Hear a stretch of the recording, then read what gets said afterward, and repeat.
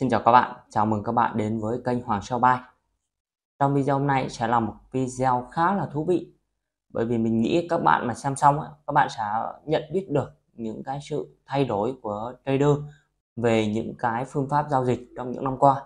Đặc biệt ấy là trong 6 năm gần đây đã có một sự thay đổi về những cái công cụ trading rất là lớn. Và có thể là xem xong video này cái tư duy về những cái phương pháp giao dịch của các bạn sẽ thay đổi thì các bạn mà tìm hiểu ấy thì các bạn cũng biết là thị trường forex nó hình thành lâu rồi rất là lâu. Cả hàng trăm năm nay mấy trăm năm nay cơ. Nên mà bảo bây giờ những cái phương pháp mà sử dụng trong 100 năm qua thì mình chịu đúng là mình chịu luôn. À, mình mới tham gia được 5 năm trở lại thì lấy đâu ra những cái cảm nhận những cái thông tin mà để giới thiệu cho các bạn đúng không?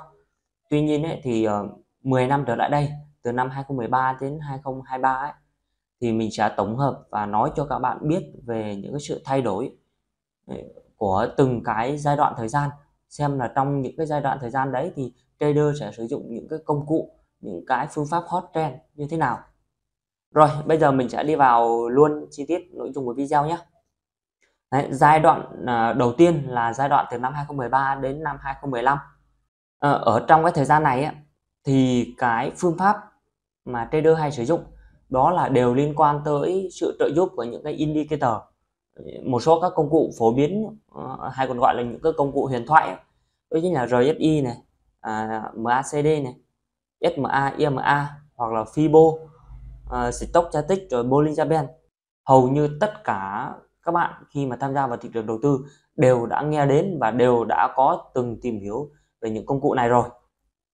Mặc dù đến bây giờ những công cụ này nó vẫn đang hot nó vẫn đang hot nhưng mà ở trong những cái thời điểm ngày xưa thì nó là những cái công cụ ưu tiên số 1 cho trader. Ờ, đa phần trader nào cũng đều sẽ sử dụng cho mình một cái công cụ hoặc là một cái phương pháp nào đấy mà có sự hỗ trợ của những cái indicator này. Đấy, hoặc là các bạn cứ để ý những cái trader mà uh, thời xưa trader mà có kinh nghiệm trên thị trường khoảng từ 10 đến 20 năm hầu như trên biểu đồ người ta lúc nào người ta cũng có một cái công cụ một cái indicator nào đấy để mà bổ trợ cho người ta trong quá trình phân tích biểu đồ thị trường. Tất nhiên là đa phần thôi ý mình nói ở đây là đa phần chứ không phải là tất cả nhé các bạn đừng có hiểu nhầm. Thì với những cái công cụ này ấy, thì các bạn thấy nhiều trader vẫn cứ giao dịch ổn và tạo ra được lợi nhuận bình thường. Bây giờ thì không phải nó lỗi thời bây giờ thì không phải nó lỗi thời mà là ít người sử dụng hơn thôi. Chứ không phải là nó lỗi thời nó vẫn có những cái tác dụng riêng. Ờ, tuy nhiên là cái sự lựa chọn những cái sự ưu tiên của người ta thì không còn là à, phụ thuộc vào những cái indicator này nữa. Rồi tới cái giai đoạn thời gian năm 2015 đến 2017 thì đây là một cái giai đoạn mà bắt đầu đã có sự uh, chuyển biến về cái phương pháp phân tích. Ở giai đoạn này ấy, những cái phương pháp những cái công cụ hot trend như là Sonic này hoặc là người ta sẽ sử dụng uh, sóng Elliot này rồi là lý thuyết đao này hoặc là histogram. À, đây là những công, cụ mà hot trend ở trong cái giai đoạn 2015 2017 thì mình bắt đầu tìm hiểu vào cái thị trường đầu tư năm 2017 cái thời gian đấy thì cái lý thuyết đao cực kỳ phổ biến nha các bạn. À, lý thuyết đao ấy và ờ, uh, Elliott ấy là những cái phương pháp mà trader sẽ sử dụng ờ, phân tích sóng phân tích sóng ở trên đồ thị thì cái phương pháp mà đầu tiên mình tìm hiểu cũng là cái phương pháp về lý thuyết đào à, phương pháp về lý thuyết đào cũng cứ xác định sóng cái vùng uh, tích lũy vùng break vùng phân phối. Đấy ngày xưa cái thời mới tham gia vào thị trường mình có tìm hiểu những mấy thứ đấy. Không biết những bạn nào mà bắt đầu tìm hiểu thị trường từ năm 2015 2017 bắt đầu học về những cái công cụ hot trend ở trong giai đoạn này không? Giống như mình không? Chứ ngày xưa thì nhiều lắm mấy cái group toàn share về kiến thức uh, Elliot với lại Lý Thế Đao thôi. Rồi đến cái giai đoạn tiếp theo là giai đoạn 2018 đến năm 2020 Đấy, thì đây là một cái giai đoạn mà uh, cũng khá là gần gần đây rồi. Đây là một cái giai đoạn cực kỳ hưng thịnh cực kỳ hưng thịnh của phương pháp là fraction uh, ờ, ngoài ra thì có thêm một cái phương pháp hot trend ở thời này vào lối khoảng năm 2019 2020 đó chính là supply demand zone tuy nhiên ở giai đoạn này thì nhà nhà người người là chỉ có fry action đi đâu thấy fry action. Nhiều kênh youtube cũng bắt đầu chia sẻ về kiến thức fry action. Nước ngoài cũng thấy là variation đi đâu thấy thấy action. Đấy, mình công nhận là cái phương pháp variation này công nhận nó cũng hay thật. Nó có nhiều cái điểm tối ưu. Tuy nhiên ấy, thì phương pháp nào thì mặt bằng chung nó cũng giống nhau cả. Nó cũng đều là những cái công cụ để các bạn phân tích và vào lệnh. Khi mà các bạn đã vào lệnh rồi thì cái xác suất thắng thua thì nó cũng tương đối lắm chứ nó không nó không nghiêng về một phía nào đâu.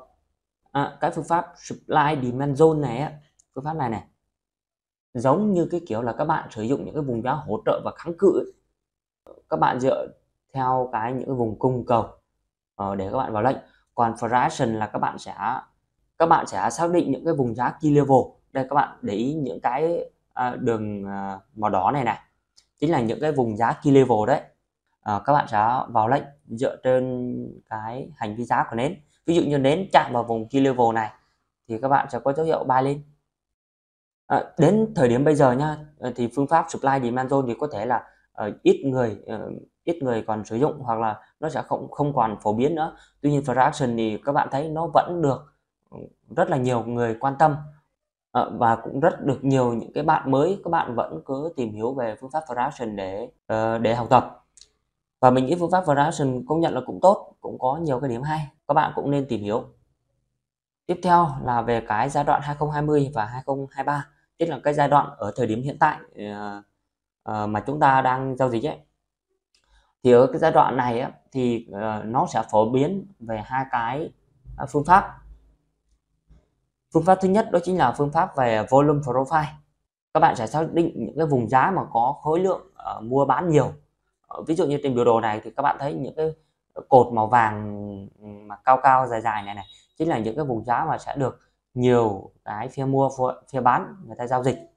Thì các bạn sẽ dựa vào những cái volume profile này để các bạn ờ, đưa ra cái quyết định là vùng giá này các bạn có nên ờ, đặt SLTP hoặc là các bạn có nên vào lệnh hay không.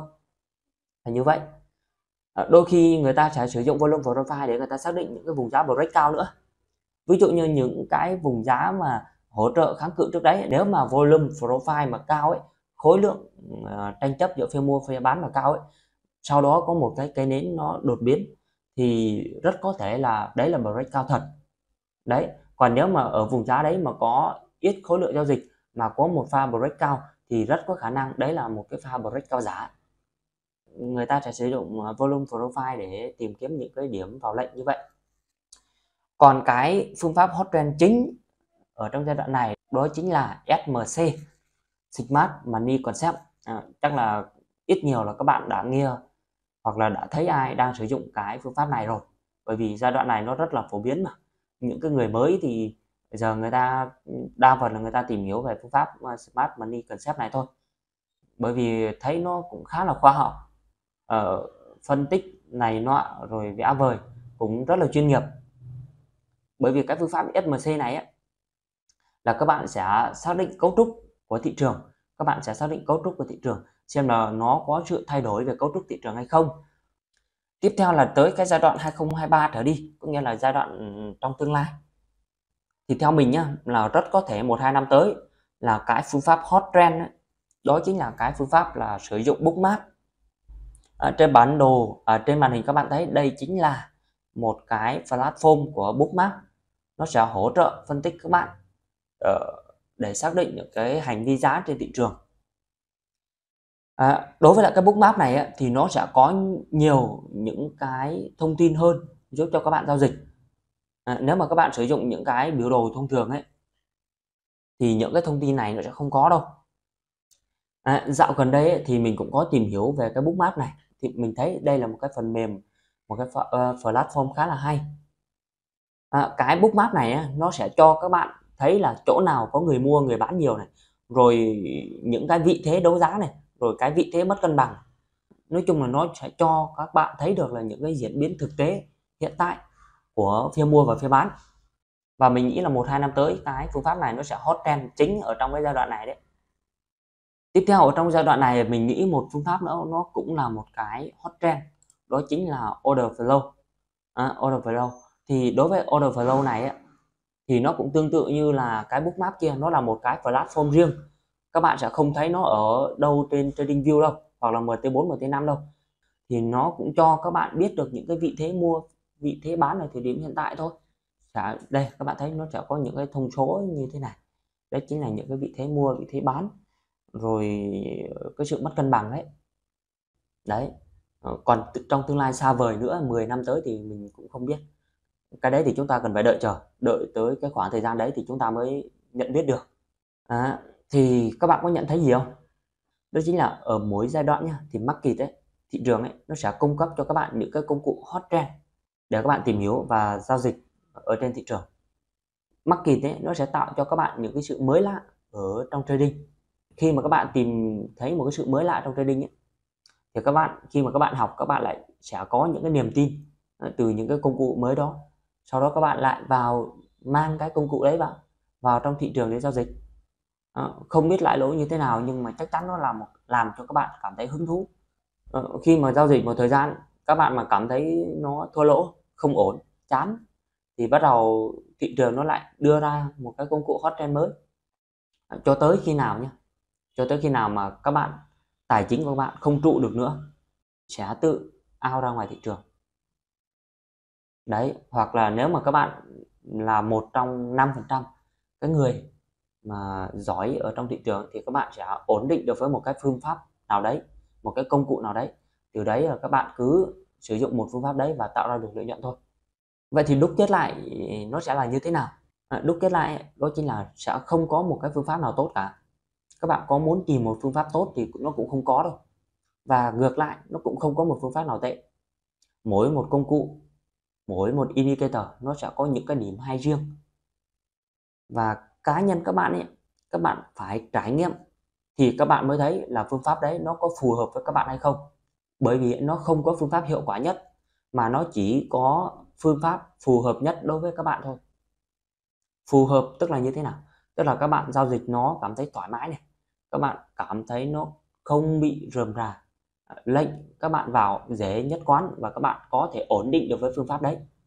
Đấy chính là những cái phương pháp phù hợp nhất với bạn. Các bạn sử dụng RSI cũng được MACD cũng được Price Action FMC Order Flow bất kỳ một phương pháp nào đấy kể cả mô hình đến mô hình giá. À, đều ok cả hết. Nhưng nó có phù hợp với bạn hay không là một chuyện khác. À, có rất nhiều bạn nhá EQ trong học tập của các bạn rất là cao các bạn rất thông minh khi vào thị trường các bạn luôn tìm những cái phương pháp khó để các bạn học tập rồi các bạn giao dịch. Các bạn tự làm khó các bạn ra. Rồi khi mà giao dịch, các bạn lại giao dịch lung tung, không nhất quán được. Các bạn không có kiên định, cứ để cho thị trường nó vây nó lấy tiền của các bạn thôi. Ngược lại, nhiều người người ta cảm thấy tố chất của người ta bình thường.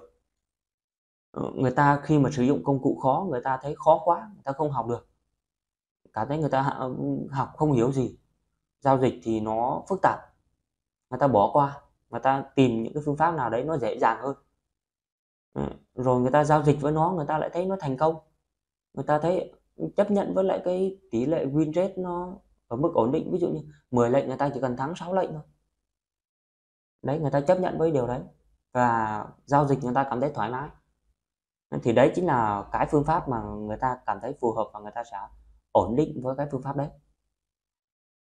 Đấy nên mà các bạn ừ, nào mà đang trong cái vòng xoáy, hoặc là các bạn nào mà đang đang cứ cố tìm cho mình một cái chiến thắng hoặc là cố gắng mà tìm cái phương pháp mà có tỷ lệ chiến thắng cao hơn cái phương pháp hiện tại của các bạn, thì không có đâu thà như vậy thì các bạn hãy tìm cho mình một cái phương pháp phù hợp, rồi giao dịch qua năm 10 năm, hoặc là 3 4 năm gì đấy, các bạn sẽ tối ưu tối ưu nó dần dần rồi dần dần các bạn sẽ tăng cái tỷ suất lợi nhuận của bạn lên.